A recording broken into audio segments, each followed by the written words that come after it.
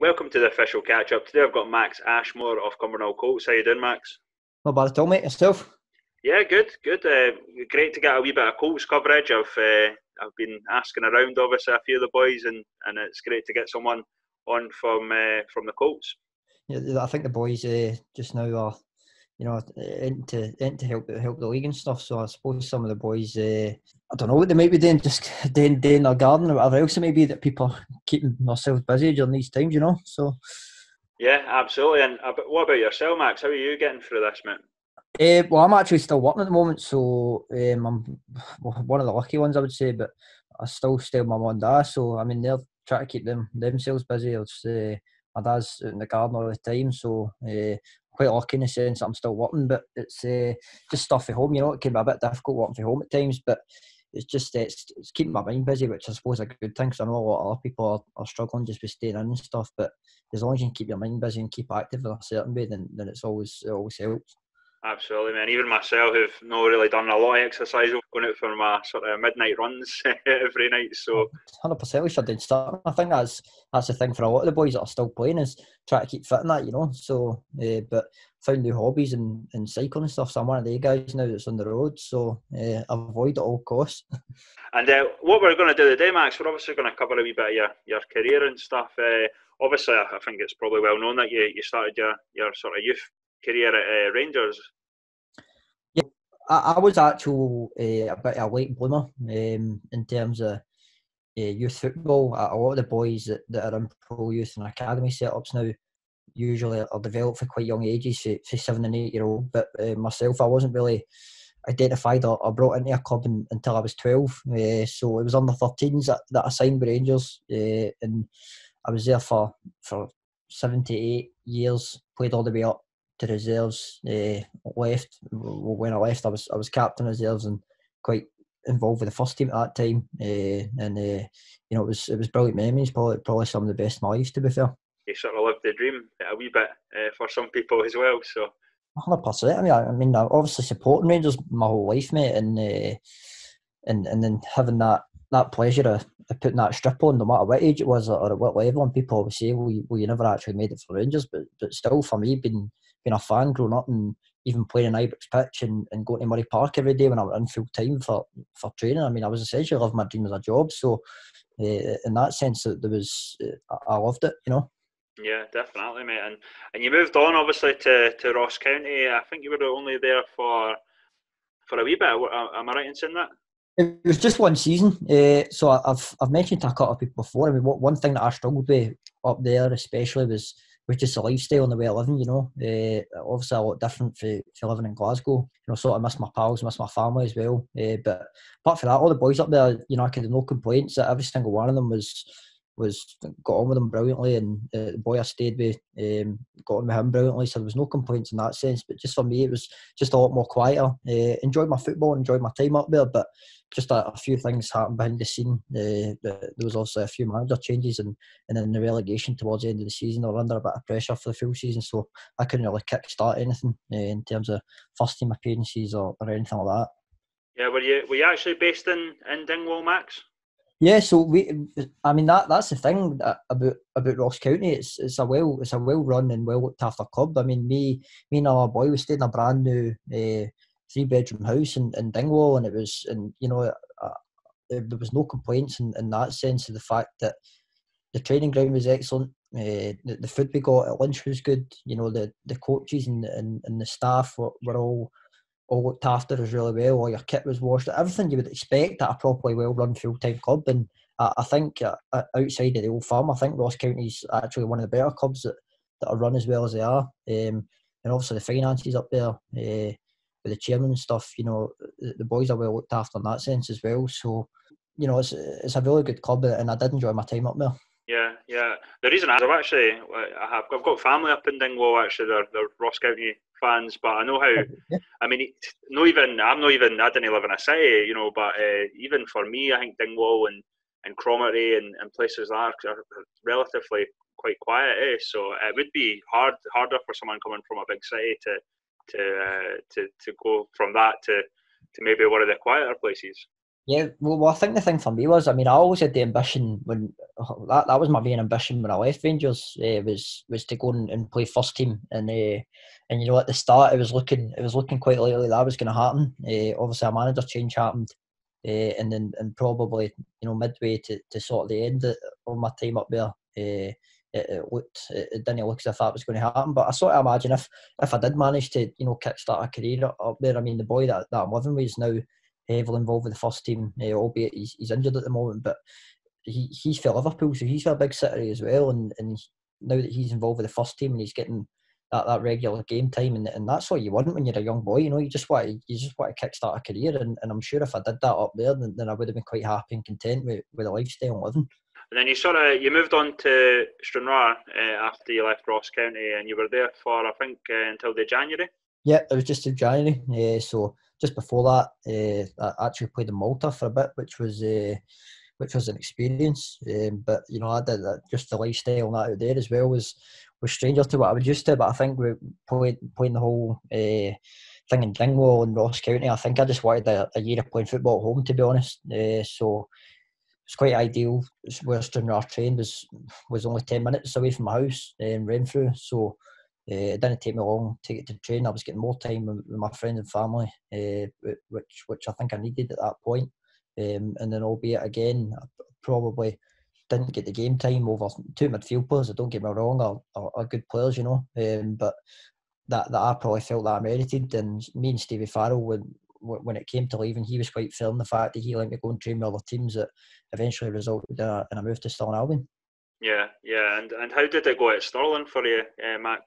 So the boys in Stirling, I mean, that's probably one of the best, the better change rooms I've been in in terms of boys and, and the way the whole team gelled together and stuff. Uh, everyone got on really well. Um, you know, we had a few older, experienced guys. We, we had a good bit of youth in there as well. With also guys like Peter McDonald, things that I've known quite, quite a long time, and, and then I had a few of my mates that, that I'd known for for when I was for when I was younger. So it, it, was nice in the sense that I got on well with all the boys, and, and it was the only thing was Kevin Rutkiewicz, who, who was a manager at the time, he was he was still playing, so he hadn't actually retired. So he he would still be sort of involved in the training, and and I think for him being a young manager at, at that stage, you know, his training was really really good. Don't get me wrong in that sense, but it was just maybe the sort of that that bit when when you make that transition from from player to manager and you're that winning real appetite that you have to go and win a game, you know, and, and rather than being the, the sort of calming person in your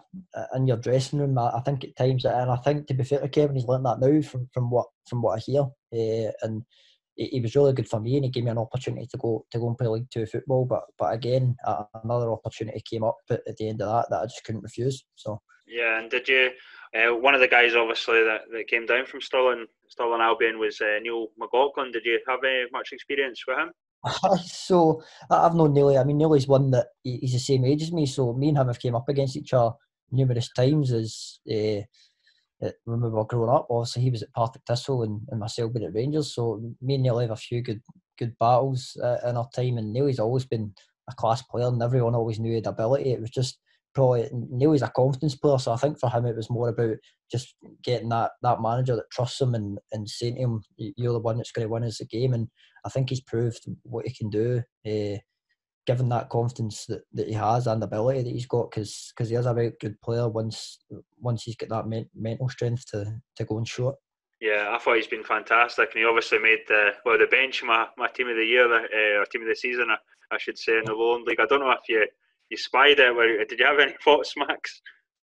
Uh, just uh, if if you needed a left-sided midfielder that would just sit in the middle of the pitch and not run about much, then I would have been your guy to get a shout to. To be fair, but apart from that, nothing else. No. it was. Uh, it's getting. It's getting harder. It's getting harder and harder. Um, I kind of touched on it a wee bit in qualities. Uh, the Lowland League guys like Nicky Lowe, uh, like yourself, obviously that have, they've been at higher levels and, and pro youth um, it's getting it's getting solid to, to pick a even a, a team of the month. I think for, for some of the teams and some of the boys. Well, hundred percent. I mean, that's I obviously mentioned to you earlier, but the thing that I've been most surprised about is uh, in coming down to the Lowland League is is the standard the opposition, albeit the, the standard at the top end is is probably a, a lot uh, a lot better than, than the sort of lower end teams. But but even saying that, I mean, I, am pretty sure a lot of the top end teams could go challenge quite quite well at you know League Two and League One, having played in the divisions as well. But I mean, I've always said it. I, I think that actually playing in League One and League Two is probably harder than, than playing the Championship and, and the Premiership, uh, just with the, the pitches taking everything else into consideration. But um, you know, so I, I, was obviously at Spartans just just before coming on coach, and even then the the training and the intensity the boys trained it there and the and the players that they had, you know, all really good players. And, and I think for me, it was a bit of an eye opener because I've always looked to the Lowland League, I mean, no disrespect to the league at all, but I've always seen it as, as a level that I could quite comfortably play at. And when, when I came down, I couldn't believe the tempo and the the standard that, that some of the games were being played at. I mean, uh, it was quite it was quite surprising in all honesty, but but in a good way. Yeah, yeah, and I don't, I don't know too much about this, Max. But just before you went to Spartans, did you had a did you have a, a trial in America or something like that? Oh, it, wasn't so much a trial. Uh, so what they have in America is there's basically a sort of summer league for all the boys that, that are playing in college that, that are looking to try and, and, and get their uh, professional debut or whatever it is uh, seasons. So they, they play in a league that, that's essentially named Path to Pro. Um, so it's it's teams from all around America and it's split up into different almost conferences. So I was playing in the Western Conference in, in California and what happens is you play every team twice. So that there was eight teams in our league. You play every team twice throughout the season, home and away. So you were playing in San Francisco, uh, eh, LA. You know, all it was it was amazing. Um, yeah. And then at the end of it, the, the top two teams from from each division play each other in what's the the big regional conference finals or whatever. And we made it to the last eight. Um, and then we were obviously we were obviously put out uh, in, in one of the finals to eventually get to to the last four. Um, but it was it was definitely uh, up there with the best experience of my life, you know. Uh, and I would encourage any boys that, that are looking for that opportunity to go out there to to try and find a way to do so. Um, but it just so happened that I've been asked a couple of times, and I was lucky enough, uh, lucky enough to be given the opportunity, and I went out and done it, and and absolutely loved it. Yeah, it was one of the things I sort of touched on with Gary Chinnarazzo, the the captain at, at Kelty, because obviously he's been he's played obviously in America and the likes of Sweden okay. and and uh, I the old I think the majority of the boys that have played or had their chance to play abroad, they've, they've all sort of suggested suggested it. And we have seen a few of the younger boys, including the likes of yourself, obviously, uh, uh, take up these opportunities in the likes of America, Australia, Sweden, uh, more recently.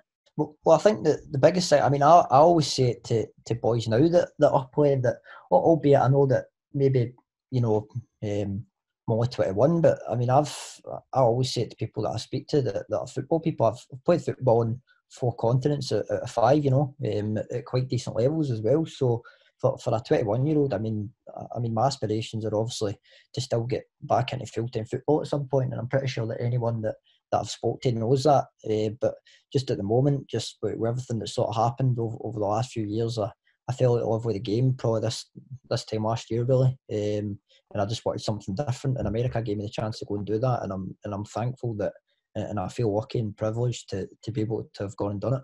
Yeah, did did I take it that's what kind of got your passion back for the game?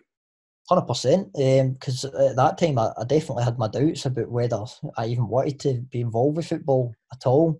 And the guy I know out there, uh, Craig McGill, he's uh, he just gives people the opportunity to come out and, and play. And to be and to be fair to him, he, he kept asking me and kept asking me, and it was a point I had that many doubts about it, and it just didn't sound like it would have been my kind of thing. I didn't really know how what what I'd be stepping into, the boys I'd be living with, you know, the rest of it, and ended up going out there, and I could have no complaints with the boys, the standard of football, the way we lived, where we were living, you know, everything was just. I mean, it was almost it was like a, a three four months holiday, really, to be fair. But you were just playing football, and you were you're getting paid for it. So there was that, there was no complaints, you know. So that's brilliant, Max. Like I think there's a sort of period for certainly from what I've seen and what I know of Scottish football. There's I think there's a, a, a period between the ages of like sort of late teens to like early twenties that some boys that are really talented or and for whatever reason they, they seem to fall out of the game uh, and they just never have their opportunities or they like you say, they, they just fall out of love with the game, and and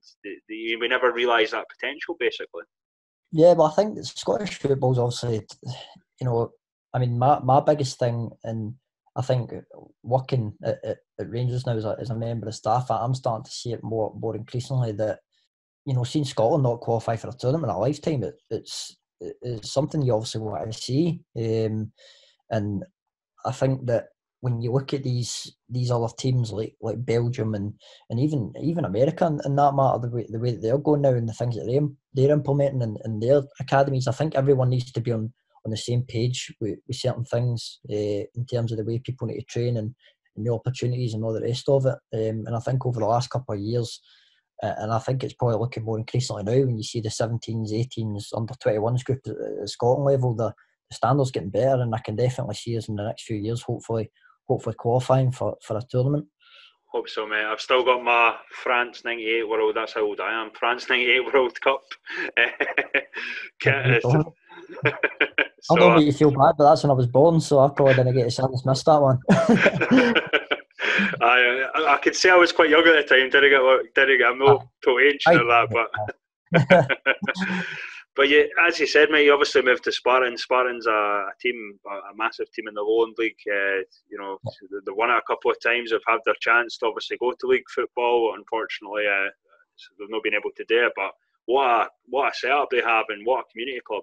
Well, that's that's the thing. I mean, for me, I could have stayed out in America and, and tried with teams, but I just think the opportunity that I got in terms of work here was, was too much for me to refuse. So coming back and playing part time somewhere, I, I, could have went and, and trained with some other clubs, you know, the, the likes of Barton things. Uh, but I just I just think for me, I just wanted to be playing on a regular basis and be back to enjoying my football. And uh, when Douglas when Douglas Samuel phoned me um, when I spoke to him, I got a really good vibe from him. You know, you probably know anyway from from the type of guy that he is. Uh, but I just got a real positive positive vibe from him. And me and my dad went up.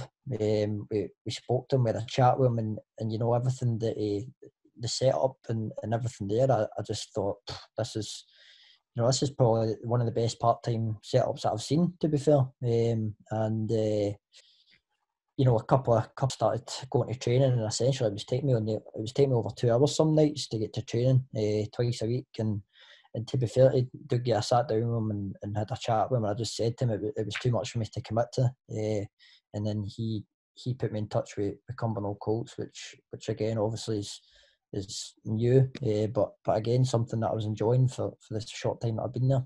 That's excellent, Dougie, and and you're right. I think I've never really I've not really had much interaction with Dougie, but um, I've certainly heard from the players, and, and I've got a massive respect for him in terms of what he's done with Spartans, and, and, I, and I keep saying it, but I don't think there's a lot of people with uh, the working knowledge of the Lowland League or this level that, that Dougie Samuel has. He's he's, uh, he's some guy like. Well, well, even he's talking and he's training. I was, uh, I think that was probably. I remember sitting in the changing room, and this was our first game that we played and we were playing BSC, so it was also quite a big game. But I probably didn't actually realise that at the time. So this was my first sort of indication of, of what the standard was going to be like at Lowland League level. Um, and Dougie done his pre-match talk, and I remember after it thinking, he he knows his stuff, you know. Um, and and that for me was was probably the first eye opener. And then when the game started, it was played at such a high and fast tempo, and I thought, well, I mean, you know, it'd be a seal. Like all the boys are fit, they're, they're physical, they're, they're a good, well balanced team, and, and I remember watching that and thinking, this is going to be.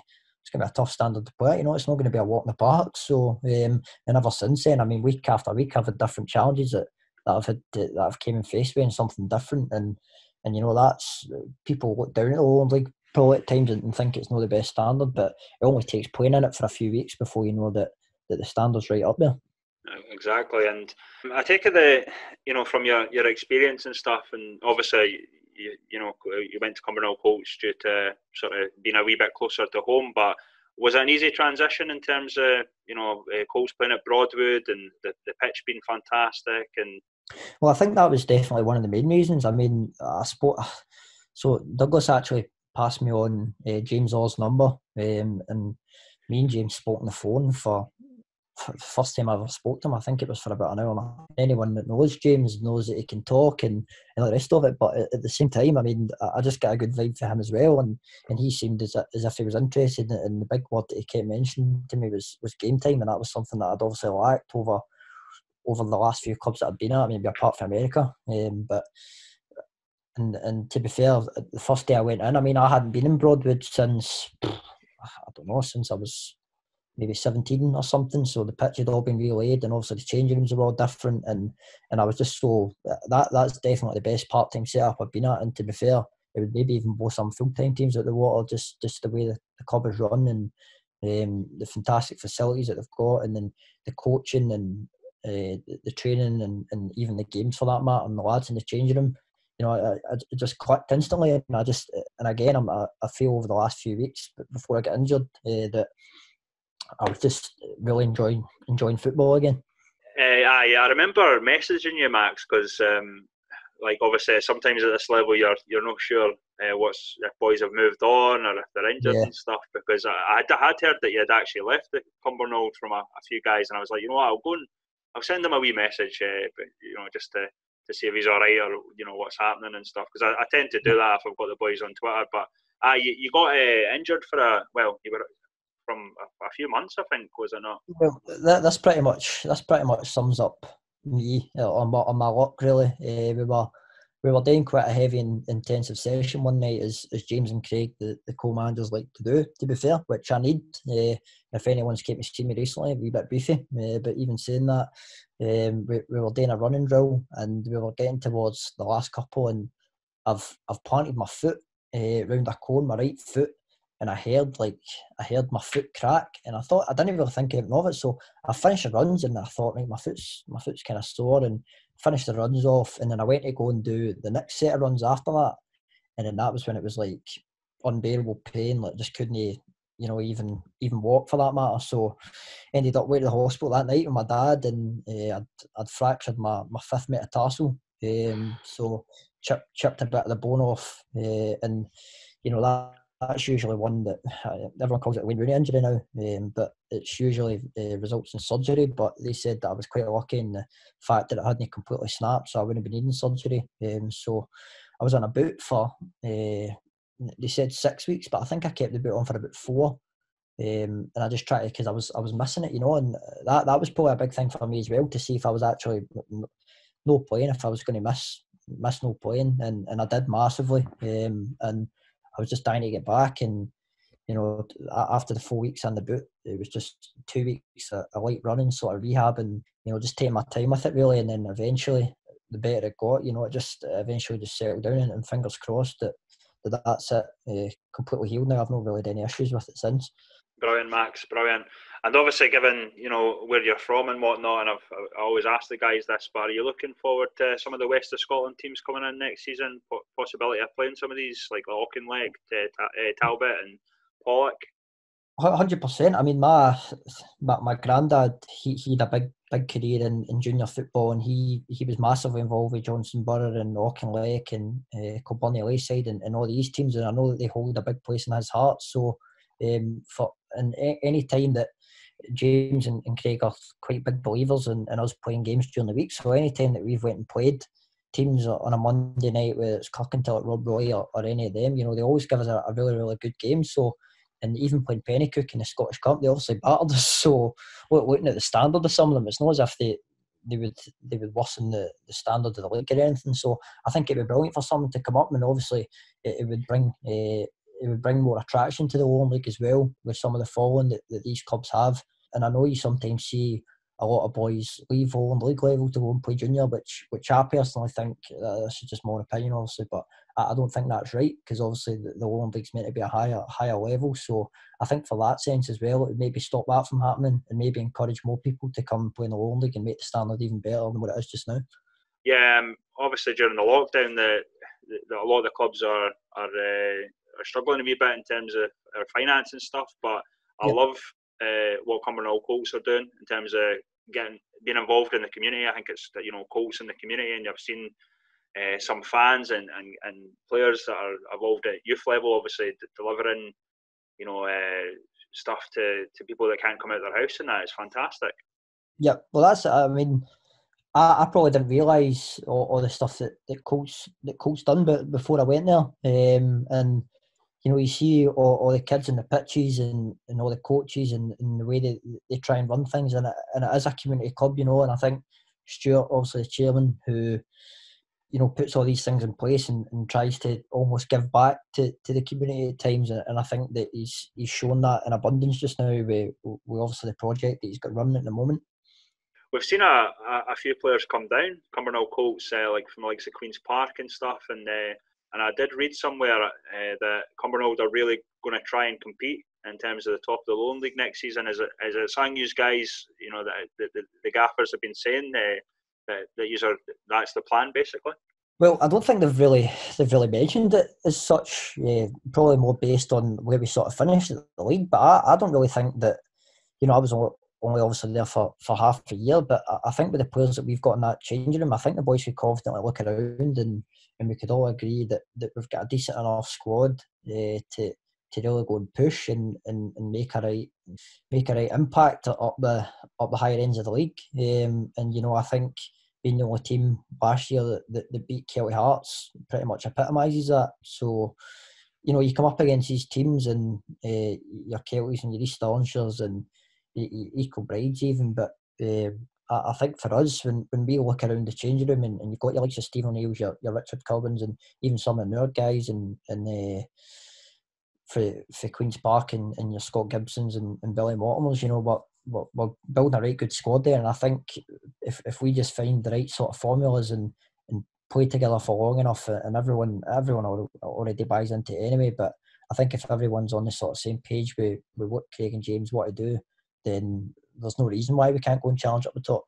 It's been uh, it's been brilliant talking to you, Max, and uh, I really appreciate, obviously, as I said, getting some uh, Cumbernauld Colts coverage. I know they're uh, they're always keen to, to, to, you know, I think that I don't do enough for them sometimes. Uh, but uh, nah, Colts, I've, I've, got a massive respect for Colts and uh, the likes of Civil always kind of place you guys kind of similar because of the, you know, the big budget, budgets of Kelty and, and East yeah. Stirlingshire but you guys always seem to be sort of top top half of the table, and, and I hope you do push next season. It'd be great to see.